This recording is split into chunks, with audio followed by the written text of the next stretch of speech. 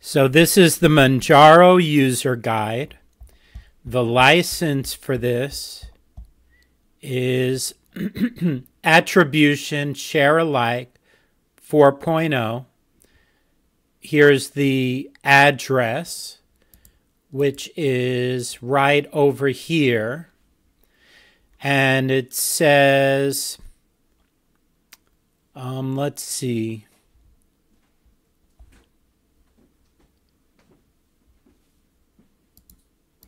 So I see this authorizes you to exercise in all media formats, waives or agrees not to assert any right or authority to forbid you from making technical modifications necessary.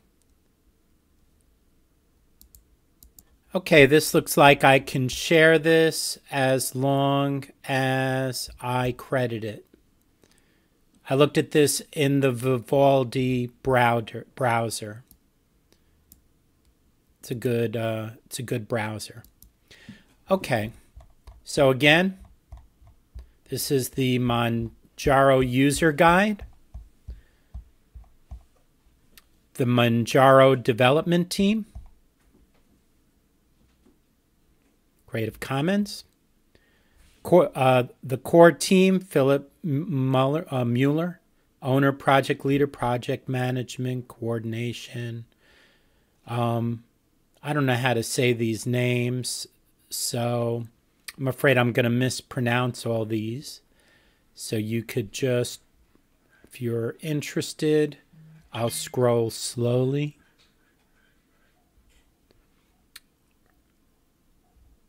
Acknowledgements, the awesome community on forum.manjaro.org and hashtag Manjaro.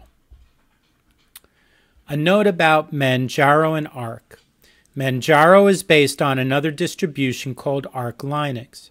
As such, it is also able to draw software packages from the community maintained Arch User Repository, AUR. However, please note that Manjaro is not Arch. And any inquiries about the Manjaro operating system should be directed towards the Manjaro forums and Internet Relay Chat IRC channels alone. For example, although Ubuntu is derived from Debian and therefore shares some similarities with its parent, there are still substantial differences between these operating systems and how they work, such as sorry about that, such as the case with Manjaro, which is far from just being an easy to install or pre-configured Arch operating system. Here are some of the key differences between the Manjaro and Arch operating systems. Manjaro is developed independently from Arch and by a completely different team. Manjaro is designed to be accessible to newcomers, while Arch is aimed at experienced users. Manjaro draws software from its own independent repositories. These repositories also contain software packages not provided by Arch. Manjaro provides its own distribution specific tools such as the Manjaro hardware detection, MHWD utility and the Manjaro Settings Manager MSM. Manjaro has numerous subtle differences in how it works when compared to Arch. To reiterate, although Manjaro is indeed an Arch derivative, it is not Arch. Contents Introduction, Getting Manjaro, Downloading Manjaro checking a downloaded disk image for errors, writing a disk image.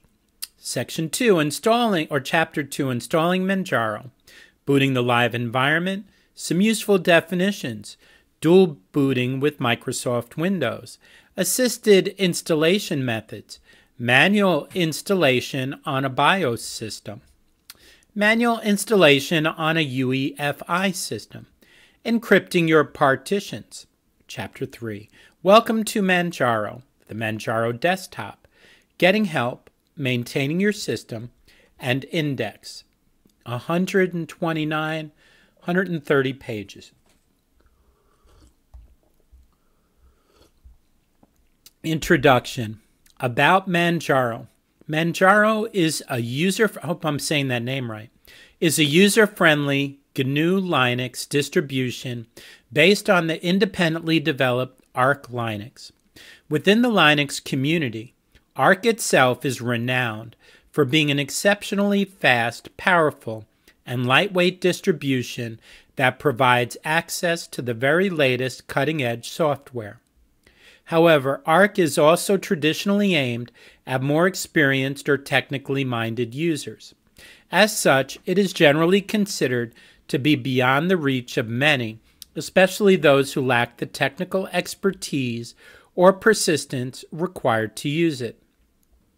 Developed by a worldwide team, Manjaro aims to provide all of the benefits of Arch Linux combined with a focus on user friendliness and accessibility. Manjaro is suitable for newcomers as well as experienced Linux users. For newcomers, a user friendly installer is provided, and the system itself is designed to work fully straight out of the box, with features including pre installed desktop environments, pre installed graphical applications to easily install software and update your system, pre installed codecs to play multimedia files, pre installed access to the latest games. Features Manjaro shares many of the same features as Arch, including speed, power, and efficiency, access to the very latest cutting and bleeding edge software, a rolling release develop model that provides the most up to date system possible without the need to regularly install a new operating system release. Access to the Arch user repositories, the versatility to be shaped and molded in every respect to suit personal taste and preference. However, Manjaro boasts a few extra features of its own, including a simplified, user friendly installation process, automatic detection of your computer's hardware, e.g., graphics cards, automatic installation of the necessary software, e.g., graphics drivers for your system, dedicated software repositories that deliver fully tested and stable software packages, support for the easy installation and use of multiple kernels. The first screen is the Welcome to Manjaro screen.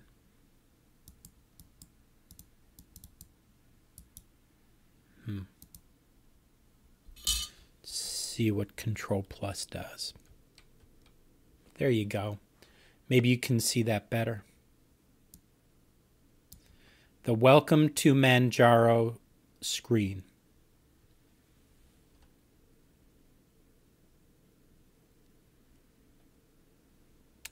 We, the Manjaro developers, hope that you enjoy using Manjaro as much as we enjoy building it.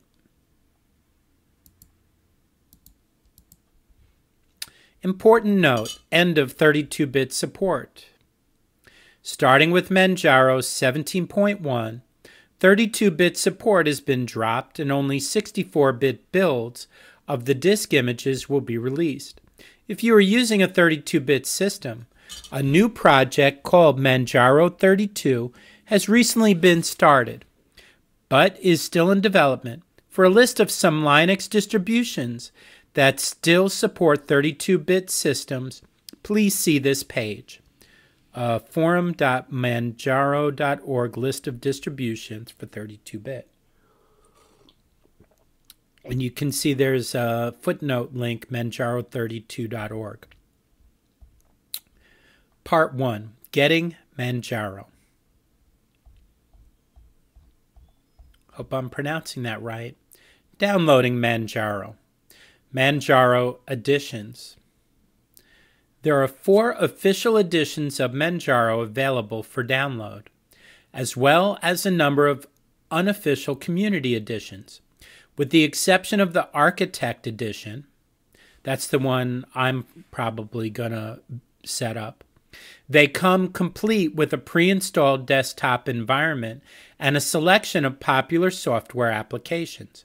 And either, either of these would be a great choice for anyone who wants to try out Manjaro on a live CD without having to install it first. If you have the time, it's worth taking each for a test run to see which you like best.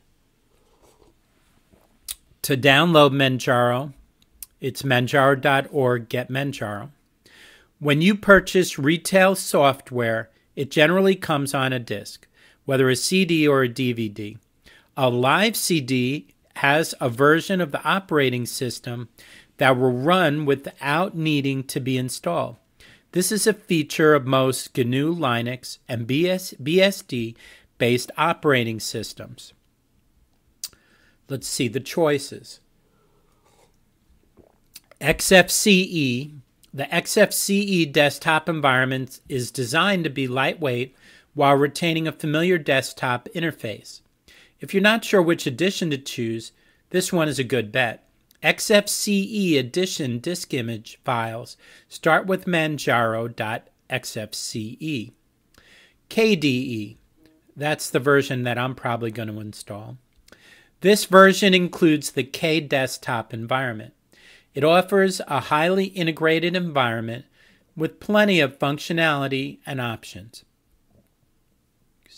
Excuse me. It is also highly customizable and offers a slightly different feel than the other editions. KDE Edition disk image files start with Manjaro KDE. GNOME. This edition of Manjaro includes the GNOME desktop, which is part of the GNU project. It offers an unconventional but intuitive desktop aiming to help productivity. It comes with a very complete and aesthetically coherent set of applications to fill the most common needs. GNOME Edition disk image files start with Manjaro GNOME. Architect, the one I'm planning on installing. This edition does not come with a pre installed desktop like the other three. Instead, you are offered the opportunity to tailor your Manjaro installation the way you want it to be by choosing which packages to install. It can also be used to install any of the other available editions, either official or community ones. This edition is not meant for beginners, but more for intermediate and advanced users. Architect Edition disk image files start with Manjaro Architect. Manjaro Community Editions. In addition to the four main Manjaro editions, there are a number of editions that have certain software or desktop environments pre installed. This user manual assumes you are using the XFCE version, and all screenshots will be from this. However, the installation process and other software works in exactly the same way. The edition names should give a clear indication of the desktop environment or window manager they install. Unless you have a strong preference, we suggest you stick with the XFCE version. You can, of course, change later or install other desktop environments too. There are many community editions to choose from, including Cinnamon, LXDE, Deepin, Budgie, Mate, and many others. The complete list is available at um, manjaro.org community editions. Downloading a disk image. Every release of Manjaro is available for download, whether the current stable release or upcoming preview releases. When you visit the download page, you will find a link to each of the four main editions, as well as a checksum file for each. A checksum can be used to check the integrity of the disk image file you download to make sure it hasn't been corrupted during the download. This will be covered in the next chapter. Stable releases of Manjaro are intended to be used by the general public. so this will be the appropriate choice for the majority of users.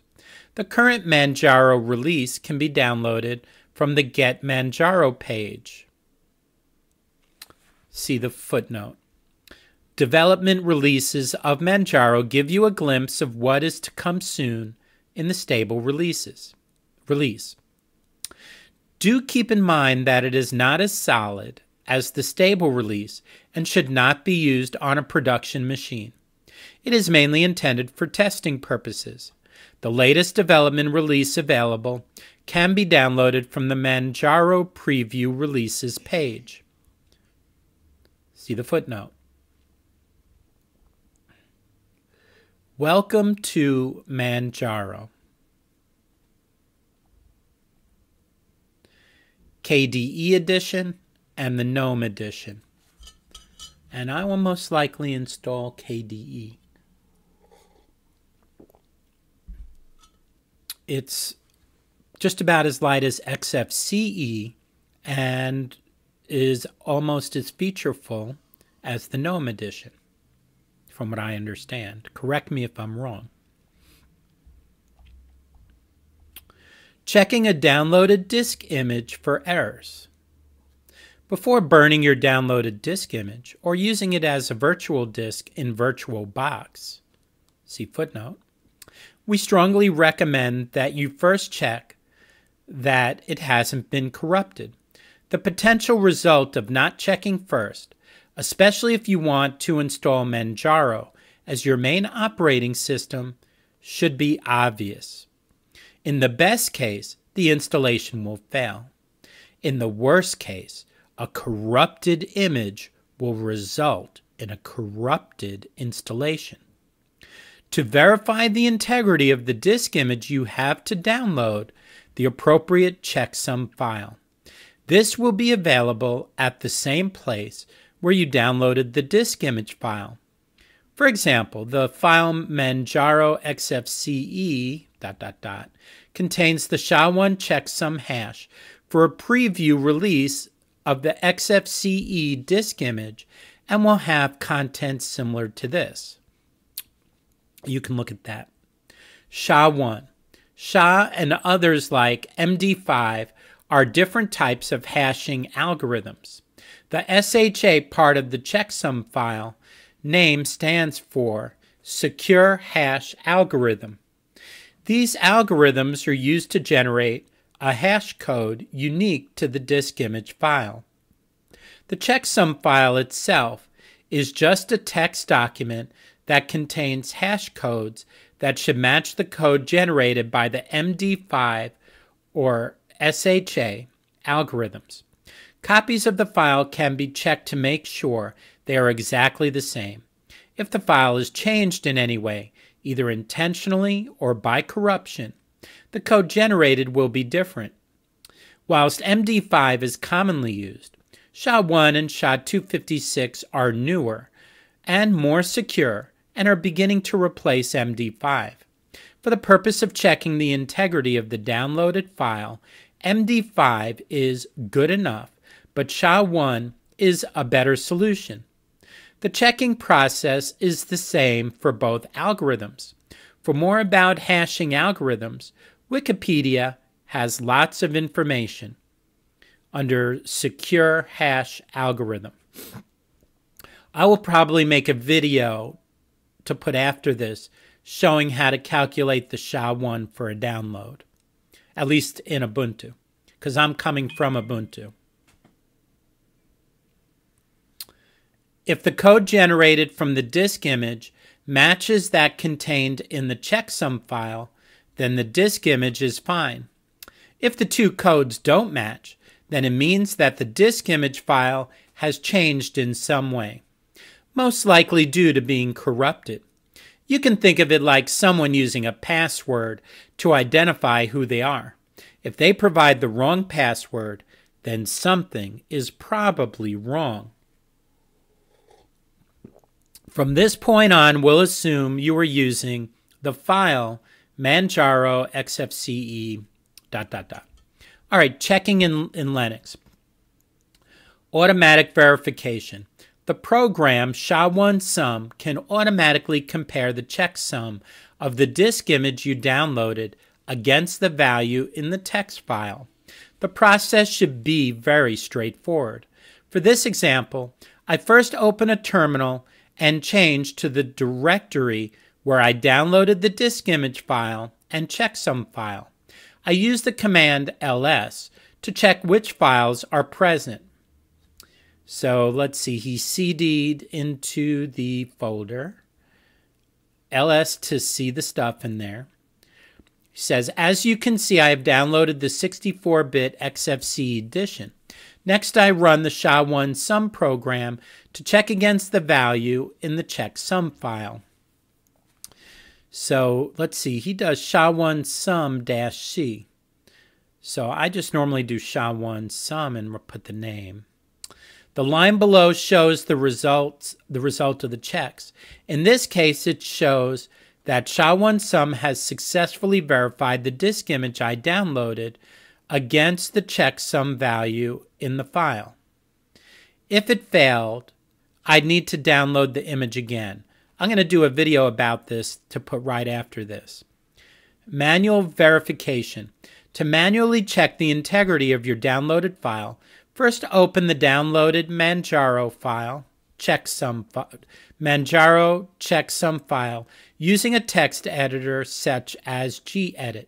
Once the checksum file has been opened and the code is visible, open up your terminal and change to the directory where your downloaded disk image is stored. For example, if your disk image file is located in a directory named download, you would first change to that directory. Then you can generate a SHA-1 hash code for the disk image using SHA-1SUM and the name of the ISO file. This command generates a hash code for the 64-bit Manjaro XFCE disk image, which can then be manually compared to the code contained in the checksum file. All right, let me show you that.